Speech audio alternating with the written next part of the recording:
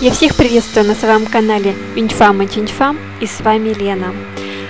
Да, э, я хотела, конечно же, продолжить свою серию видео влогов и поездок, э, экскурсий. А, так как у меня был поломан компьютер, я не могла продолжить свою экскурсию, а ведь после Германии, региона Айфель, мы продвинулись в Люксембург. И э, сейчас я вам снимаю саму дорогу, сейчас вы видите всевозможные деревушки, через которые мы проезжаем, чтобы попасть в город Вьянден. Город Вьянден, он довольно маленький, очень знаменит своим замком.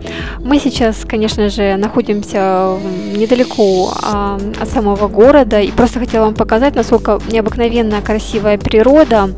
Камера, конечно, не может передать всей красоты, но поверьте мне, такое ощущение, что вы находитесь в какой-то сказке, когда вы видите всю эту зелень, вдалеке замок, а возле него э, реку. Это необыкновенно красиво. Посмотрите, какие маленькие здесь домики, дорожки. А, это меня слов не хватает, действительно, вот некая такая вот маленькая сказка. Чем же еще знаменит этот город? Он знаменит, конечно же, тем, что Виктор Гюго здесь останавливался и писал, как видите, вот сам отель, а здесь его памятник, созданный Роденом.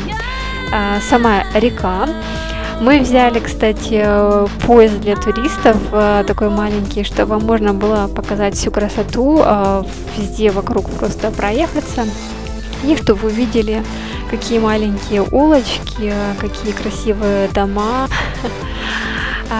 Что ж, э, что еще хотела сказать. Если вдруг вы окажетесь случайно здесь, то обязательно также зайдите в соседний городок Клерво потому что там есть необыкновенно красивая выставка фотографа Эдварда Стейшена, который на самом деле родился в Люксембурге. Он а, родом из Люксембурга, но а, его семья переехала в Штаты, и он потом там получил национальность. Но посмертно он а, захотел, чтобы его самую знаменитую выставку, потому что она самая знаменитая в мире, из э, музея МОМА передали в Люксембург. Поэтому у вас есть шанс если вдруг там окажетесь, попасть в замок уже Клерво и посмотреть эту выставку. Он необыкновенно красиво играет со светом, а, с красками, с композицией. Это необычайно талантливый человек. И эм, самые выигрышные снимки были сделаны им того же Родена, Греты Гарбо или Марлен Дитрих.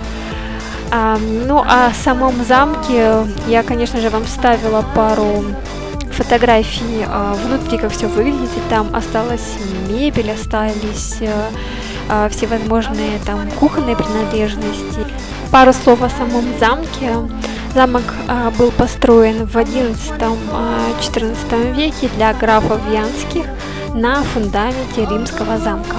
Этот замок передавали а, из одной семьи в другую, из одной власти в другую, пока он не достался герцогу Люксембурга. А он в свое время, в 70-е годы, подарил его люксембургскому народу.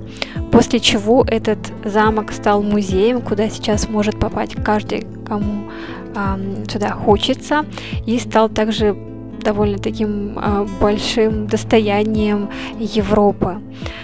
Что ж, э, на этом наша прогулка с вами заканчивается. Я надеюсь, что вам это видео понравилось. Если да, то ставьте пальчики вверх, подписывайтесь на мой канал, если вы этого еще не сделали. А я говорю вам до следующих встреч. Всем пока!